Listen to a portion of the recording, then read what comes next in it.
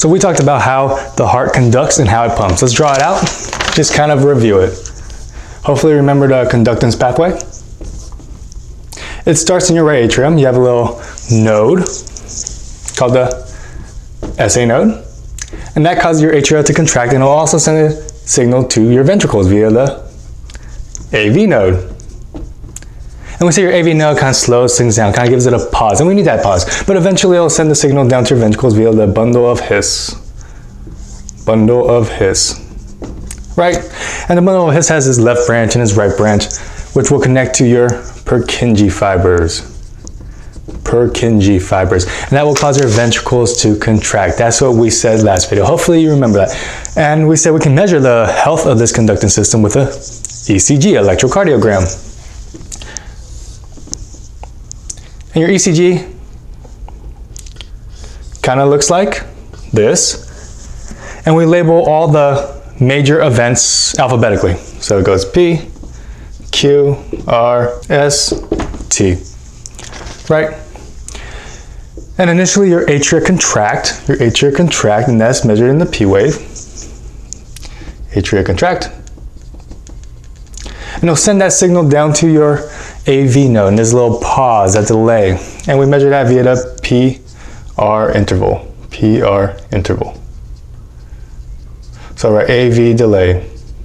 And we said it was usually less than 0.200 seconds. I, I think last video I said 0.20, but it's 0.200. Okay? But once it gets to the AV node, eventually it'll send the signal down, cause your ventricles to contract. And that's measured via the QRS complex. So ventricular contraction, and also your atria will relax and repolarize at this time. All right, so your ventricles contract, contract, contract, and then they relax, and that's your T wave. Ventricles relax. All right, and we said the time it takes from your ventricle to contract to and to relax is your ST segment. ST segment. ST segment. That's what we went over last video. All right, so just some review of how your heart beats and how it conducts. If something's wrong with how it beats and conducts, we call that an arrhythmia. Arrhythmia. Literally meaning bad rhythm, right? This is a bad rhythm. It's not contracting the way it wants to. And there are many things that can cause it. Some people just have arrhythmias normally, and sometimes asymptomatic. Some people get it from medications. Some people get it from when they have some sort of heart disease. Yeah, if your heart cells die or they're injured, they can't really maintain their cell membrane potential. And so they get really, really unstable. I mean, they're already kind of unstable, but now they get even more unstable and they can have these arrhythmias. There are many causes. I don't think you need to you know, really focus on memorizing all the causes, but just know arrhythmias exist. And we can categorize the different types of arrhythmias by kind of looking at the conductance pathway. So we said initially your atria will contract. So if there's something wrong with your atria, if your atria are acting kind of wonky, we call this, these arrhythmias, supraventricular literally meaning above the ventricles because your atria sit above the ventricles. But if they're normal, they'll send that pathway or that conductance down to your AV node, your AV node. If something's wrong with your AV node, if there's a block here, we call that AV block, aka heart block. That makes sense because it's kind of like this, it's kind of like the gatekeeper. The AV node is kind of like the gatekeeper. But if your AV node is normal, then it'll eventually send that signal down to your ventricles and your ventricles will contract. Something's wrong with your ventricles, you get our last category, which is ventricular arrhythmias. So a logical way to kind of break down arrhythmias, something wrong above your ventricles, we call that supraventricular, something wrong with your AV node, a little blockage there, we call that a AV block. Something wrong with your ventricles itself, we call that a ventricular arrhythmia. So a very logical way to break down arrhythmias. So let's talk about arrhythmias that arise from your atria, supraventricular arrhythmias. You, have, you can have something called atrial fibrillation or AFib. Fibrillation means kind of moving without coordination. It's not contracting regularly. It's not contracting and pushing blood regularly. It's kind of just vibrating there. Kind of just vibrating there. So I'll write vibrating irregularly. They love to say it's the heartbeat is irregular irregular. So sometimes it'll vibrate really fast, sometimes it'll vibrate really slow, fast, slow, medium pace. So it just kind of goes without coordination. It's kind of just vibrating. So irregularly, irregular. And that's not good because if it can't fully contract, it can't fully pump blood into your ventricles. So blood kind of pools there, there's stasis there, and you can form blood clots, or blood clots. And if that blood clot eventually makes it to your ventricle and you pump it out, it can go anywhere in your body. It can cause strokes, it can cause clots anywhere. So it's very, very bad, all right, strokes. They love to test this fact because it's quite dangerous, as you can imagine.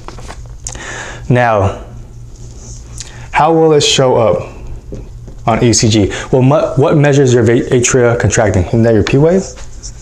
If it's not contracting the way it should, if it's just kind of vibrating, then you're not going to get these nice little P waves, these nice clear P waves. Instead, you're to get something that looks kind of like this. Yeah, it just kind of vibrates, kind of like this. So, what do I want to say? What do I want to say? Malware vibrating P wave. Okay, a good picture will be in my notes. Good picture will be in my notes. They love atrial fibrillation, and there are many ways um, they ask it. They'll talk about someone that's young. You see an ECG and you see this, and they say, what is the patient at risk for? Things like stroke, things like blood clots. Or maybe they already had a stroke, right? And then they ask what do you want to do. You want anticoagulant because they're at risk for increased blood clots. Or they might say, if you feel their pulse, what does it feel like? It feels irregularly irregular. So many different ways they can ask this, but if you these like three key facts, I think you'll be golden. All right, so that's AFib. The second one is called atrial flutter. Flutter. Here, you are contracting, which is good. You're just contracting really, really fast. So you are contracting, you are gonna see those clear P waves. You're just contracting them really, really, really fast. Even faster than your ventricles, all right? So very, very fast contraction, all right, fast contractions. Right, so hopefully you can see the difference. These are, you can actually see the clear P waves. Again, a good picture will be in my notes. So fast contractions, fast P waves. Fast P waves. And there are a couple of mechanisms why. Sometimes you can have abnormal fibers that carry your conductance back up to the atria. So instead of going down, it goes back up. We call that re-entry. You're kind of re-entering. And because you're re-entry, re-entry, that's not right. Because you're re-entering, you're kind of just of keep conducting and keep contracting, contracting, contracting. You contract really fast. You can contract really fast. The good thing is that the signals that do make it down to AV node get slowed down. Your AV node is like the gatekeeper. It's not going to allow all those fast contractions to go down because it can only allow so much at a time. It slows things down. So if you contract 300 times in your atria, it'll only allow 150 to go down to your ventricles, all right? It's a gatekeeper. Usually allows a 2-1 ratio. So like I said, if your atria contract 300 times, usually your ventricles will only contract 150. Yeah, thanks to our good old friend, the AV node. That's atrial flutter. Our last one is Wolff, Parkinson, White. Wolff, Parkinson, White. Wolff, Parkinson, White can have this reentry. It can also, it can also have this bundle that leaves and actually connects directly to the Purkinje fiber, fiber, and that's not good.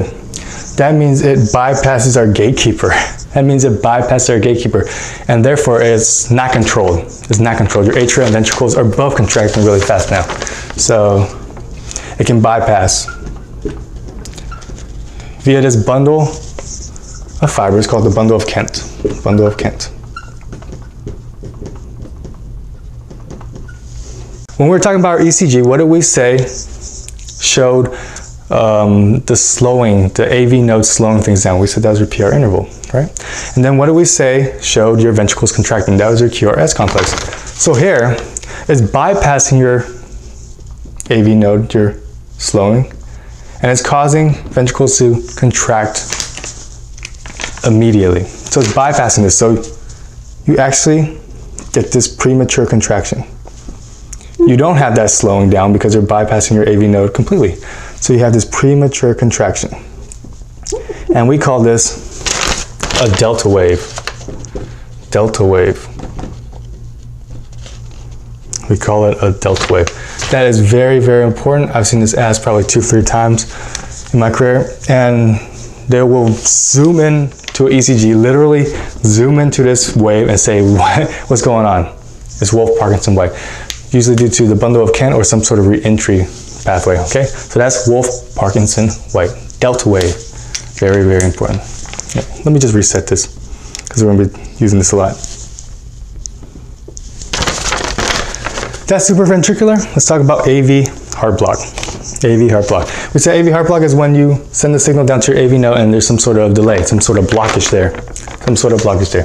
And it's separated in different degrees, first degree, first degree, is just a slowing of the signal, a slowing of the signal. What do we say in the ECG shows that AV delay? That's your PR interval, right? So if you slow that, make the delay even further or even more, then you have a prolonged PR interval.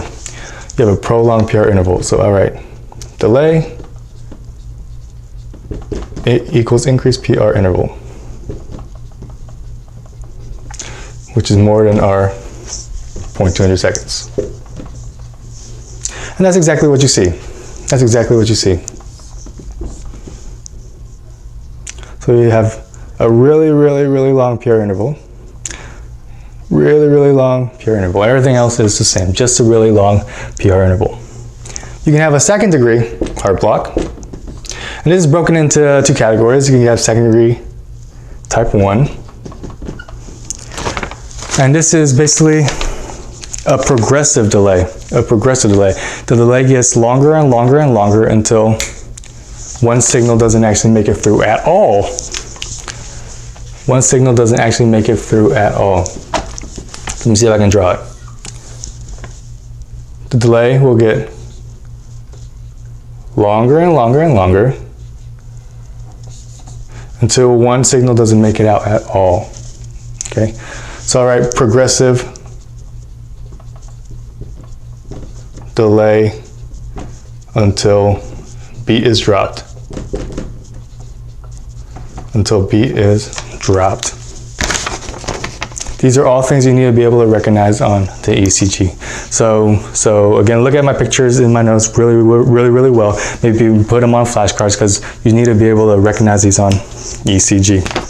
You can have second degree type 2, type 2, and this is when a signal doesn't go through. So you get a spontaneous dropping. So see if I can draw it again. Everything's looking fine, everything's looking fine, and suddenly you get a spontaneous dropping. And then it goes back to normal. Everything's looking fine, everything's looking fine, and then you get a spontaneous drop. So you're spontaneously getting a blockage there. No rhyme or reason, you just get a spontaneous block. So spontaneous drop. Yeah, you don't send a signal to your ventricles, your ventricles won't contract. You won't get that QRS complex. And then lastly, our third degree heart block is when your signal is so messed up, there is no communication at all. Your atria are contracting your P waves, your ventricles are contracting your QRS, but there's no relation. They're not communicating, they're not talking. So your waves are just basically contracting out of order. You might have two P waves every QRS, or you might have four QRS every five P waves. It doesn't really matter. You're not talking. So no communication. This looks like mayhem. All right. One cause of third degree heart block that they really want you to know is Lyme disease. Lyme disease. Tick-borne illness. Do you remember what spirochete causes it? Pause the video, tell me what spirochete. If you haven't done micro, that's fine. Just flag this video and come back to it. Um, Lyme disease, really, really late stage can affect your brain, can affect your heart, cause that third degree heart block. They like that a lot. All right. So that's AV heart block. We said our third category of arrhythmias, kind of erased it, but hopefully remember, were your ventricular arrhythmias. Your ventricular arrhythmias. Ventricular. your ventricular arrhythmias. You can have ventricular tachycardia or VTach. That literally means increased ventricles contracting. contracting really, really fast. What on our ECG showed ventricles contracting? Your QRS complex, right? And so you literally have QRS complexes all over the stinking place. All over the stinking place. Lots of QRS. That's it. Okay, that's all you need to know for that. Ventricular fibrillation is our next one. Uh, very similar to atrial fibrillation where it doesn't really contract, it just kind of vibrates, just kind of vibrates. And so instead of just seeing this nice QRS contraction, you just see this QRS vibration.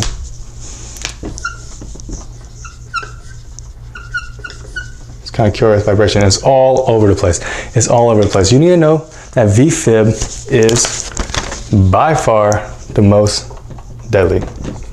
Anyone that goes into VFib is halfway to heaven's door. All right, so you don't do antiarrhythmic drugs. You put on a defibrillator immediately and try and get them out of that because they're they're basically about to die. So most deadly,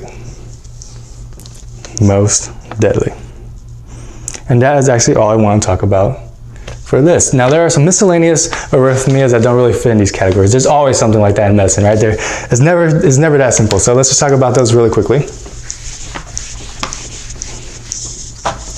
Let's just talk about that really quickly. You can have something called the long QT syndrome. Now, what the heck is a QT? It's kind of like your ST segment where it measures the time it takes from your ventricles to contract to where it relaxes, your T wave. But it starts all the way in the beginning, literally the first sign of ventricular contraction. So instead of a ST, you just start a little bit further. We call it a QT. All right. So if you have a long QT, if you have a long QT, that means it's taking a long time for your ventricles to contract and relax. And you can uh, imagine that's not going to be very good. Yeah, if you take a long time and your ventricles are contracting and you're like, come on, relax, relax, relax, relax. Ugh, that's not good. So that is basically a long QT. It's a long time for ventricles to contract and relax. There are many things that can cause this. You can be born with it. You can have um, medication causes. Uh, they really like to talk about the genetic causes. Genetic causes, often due to an ion channel defect. I mean, the whole heart conductance is due to ion channel. So if you have a defect in there, you can imagine it can affect your heart conductance. There are some syndromes. There are some syndromes. There's Romano syndrome, which causes long QT and deafness. There's something called Dravet syndrome, which is the same thing but no deafness. There's something called Brugada syndrome, Brugada, and that's seen more in young Asian males and has a high chance of causing really, really bad arrhythmias and sudden death. So these people, sorry, Asian males, these people need an implantable defibrillator that automatically detects if there's a bad arrhythmia and will defibrillate them. Um, so they don't have to wait for someone to come in with a defibrillator kit. So you have to put in a implantable defibrillator, okay? Because they're at a high risk of death. All the times I've ever seen this ask, so I'll give you a little step secret. All the time I've ever seen this ask was when someone was swimming and then suddenly they drowned right? They dropped dead and drowned because they had that arrhythmia. And it's their heart seized and they drown, right? So sudden death in young people, um, you're thinking of something wrong with the heart. It could be a hypertrophic cardiomyopathy, which we'll talk about in a second, or in subsequent videos, but it can also be these arrhythmias, all right? So just kind of keep that in mind. If you prolong your QT, if you prolong this QT and make this really long, you can prolong it to such a point where it no longer looks like this nice little spike. It starts to look like a sine wave. It starts to look like a sine wave, and that we call torsades. That we call torsades. It's all right, long QT. This actually looks a lot like ventricular fibrillation that we talked about just a minute ago, right? And then we say that was the most dangerous, and you can imagine torsades can actually progress to VFib. So this is not a good thing. This is not a good thing. It's very, very dangerous. How do you treat it? You give them magnesium. They love this one. They'll show you this classic picture of torsades. Let's talk about long QT, and then ask you how you want to treat it. Give them magnesium. Magnesium, um, I don't know if I want to get into it right now, but magnesium blocks calcium, and that can affect your ions to a point where you can get out of torsades. Okay, get out of torsades. If magnesium is a treatment, then some causes will include low magnesium. So some causes from low magnesium. Those are your arrhythmias. Now our last topic is going to be on antiarrhythmias.